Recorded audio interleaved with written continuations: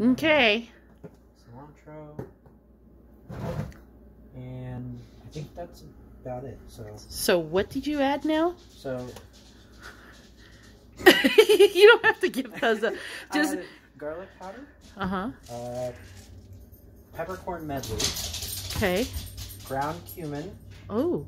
cayenne pepper, and all of this was like in pinches, except for the garlic powder, which was Spoonfuls, or two teaspoons. two teaspoons. Okay. About. I mostly eyeballed all of it, so I was just kind of like, I don't know. Perfect. But cilantro was about half a teaspoon.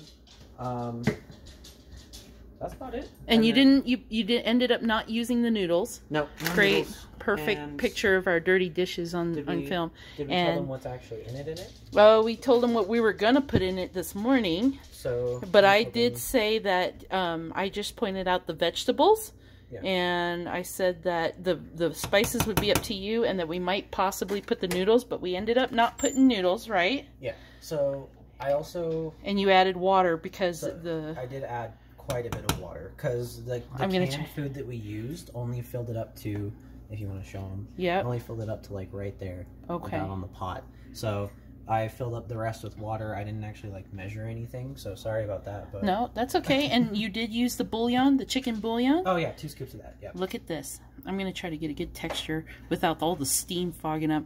I actually can see the peppercorn in there too. Yeah, and it wasn't much. Again, like I said, I used mostly just pinches. So I basically, I literally opened this up and I just shook it and like let like five or six of these come out. Uh-huh. More than enough. Okay. Okay.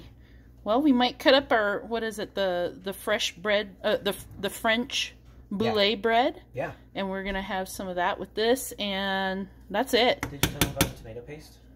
I did. Okay, cool. So you added the tomato paste too, right? Yeah, I scooped the whole half can of tomato paste we had. It was the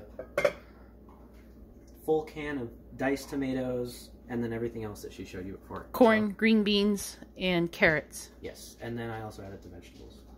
Dinner is on Cold Springs Crota Hunter. I am the Crota Hunter. Thank you, Boo. yeah.